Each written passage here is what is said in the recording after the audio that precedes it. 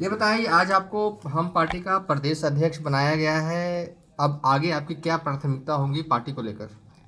देखिए, मैं सबसे पहले अपने राष्ट्रीय अध्यक्ष पूर्व मुख्यमंत्री श्री जीतन राम जी को हृदय से धन्यवाद देता हूँ। उन्होंने मुझ पर विश्वास किया और गुरुत्तर भार मुझे सौंपा है।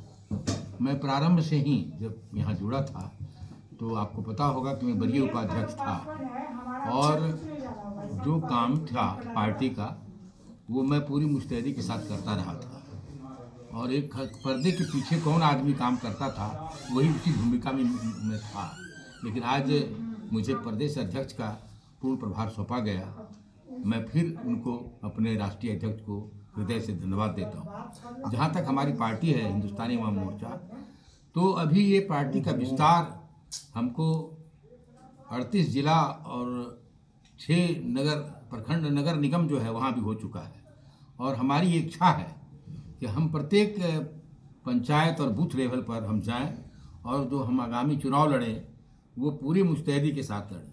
जैसा कि हमारे राष्ट्रीय अध्यक्ष ने कहा है कि हमारी पार्टी की आत्मा दलित है और जो हमारे बाहू हैं या हमारी जो अंगुलियाँ हैं, वो सभी, हमारे सभी जाति के लोग इसमें हैं।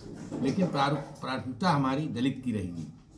और हम दलित को संगठित करेंगे और उनको लेके आगे बढ़ने का प्रयास करेंगे और हम सभी लोगों के प्रति अपने लोग, सभी लोगों के प्रति अपनी मैं शुभकामना देता हूँ और सबों का सहयोग से, सबका साथ, सबका विकास जो नारा है, उसको मैं चिरतार्थ करूँगा और हमारी पार्टी काफ़ी फले फूले और हमारी पहुँच दूर दूर तक हो और जो जनता की समस्याएँ हैं और देश की समस्याएँ हैं, उससे मैं अपने लोगों को वाकिफ कराऊँगा। और ये पार्टी उसी मुद्दों को लेकर के जो देश और जनता की मुद्दा है उसी मुद्दों को लेकर के आगे बढ़ेगी सर आज मांझी जी दिल्ली जाने वाले हैं। क्या लग रहा है सीट शेयरिंग का पर हो जाएगा बातचीत?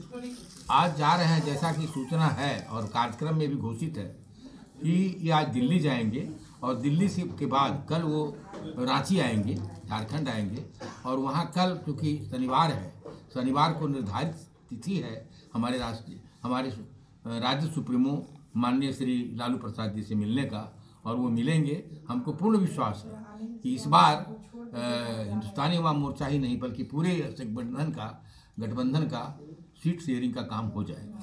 अच्छा कुछ खबरें ऐसी भी चल रही हैं कि तीन तारीख को मोदी की रैली जो पटना में होने वाले है मांझी वहाँ जा भी सकते हैं? ये गलत है। पूर्णतः गलत है। मैं इसे खंडन करता हूँ। अगर किसी ने कहा है और कहीं से सूचना लिखी है तो मैं उसका पूर्ण से पूर्ण रूप से खंडन करता हूँ। うん。